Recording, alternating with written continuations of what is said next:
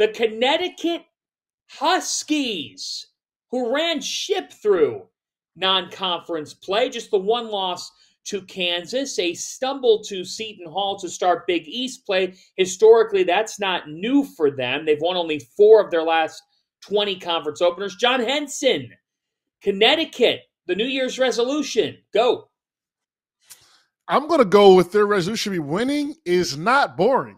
They have just as good as any chance to win it all. Believe that you guys can do this thing again, like the Florida teams in the past. I know it's been a long time, but on the outset, they look better than they were early last year against more a more open field. So, hey, winning is not boring. UConn. Hey, look, you win the Seton Hall. You kind of laid an egg, but I think that was a game where they kind of rested on their laurels a little bit, and Seton Hall came and you know stung. Yeah, winning isn't boring. UConn keep keep it going.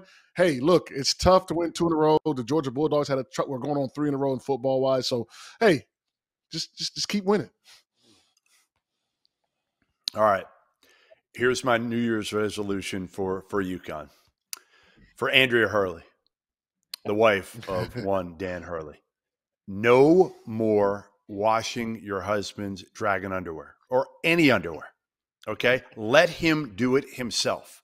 Do not wash it on the road. I don't care what he says. Make him, if he wants to do it, let him do it. If not, let him go out and buy another pair of underwear at the store. I, I don't care. Enough, Andrea. enough, enough, enough. You should not have to do this anymore. All right. On a serious note now, do not let Donovan Clingan walk around campus anymore. Okay. I want him on a golf cart everywhere. I want him in a car, on a golf cart. I do not want him walking anywhere. I want that boot on him all year. I want to make sure his foot is as healthy as it can be. For the end, of, the only time Donovan Clingan will be walking is on the basketball court. That's it. That's it. Okay, because mm. without him, UConn is not defending a national title. They're not going another Final Four again. They may not get out of the first weekend without a healthy Donovan Clingan. My New Year's resolution for Connecticut goes along the lines of what John Henson said of don't fall into we've been winning so much, maybe we need a little bit of drama. My resolution would be don't wear down to the Big East. The Big East is tough. It's challenging.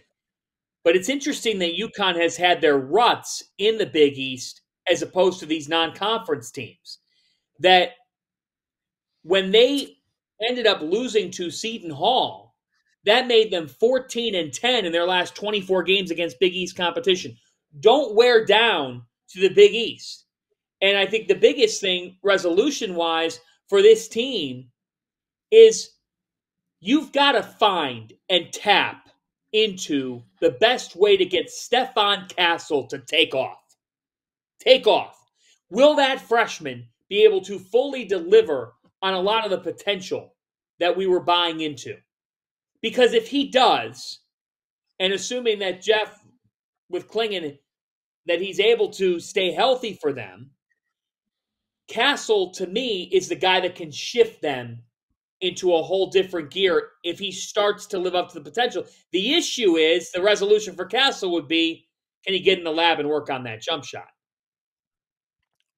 Thank you for watching the Field of 68. If you've enjoyed what you've seen here, hit that like button, share this link with your friends, or check out the description for some other places that you can consume Field 68 content.